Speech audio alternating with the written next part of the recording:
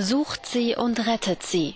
Mit dieser Forderung ziehen Angehörige der Besatzung des verschollenen U-Boots San Juan durch die Straßen der argentinischen Hafenstadt Mar del Plata. Sie sind verzweifelt und sie sind wütend, nachdem die Suche nach Überlebenden offiziell eingestellt wurde.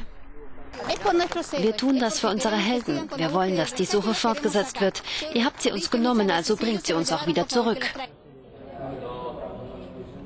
Die argentinische Marine hatte die 44 Besatzungsmitglieder am Donnerstag de facto für tot erklärt.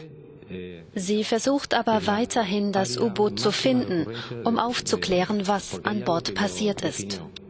Zuletzt hatte sich ein Hinweis auf den Verbleib des Unterseeboots als falsch herausgestellt. Beim letzten Funkkontakt am 15. November meldete der Kapitän der San Juan einen Kurzschluss und einen Schwelbrand.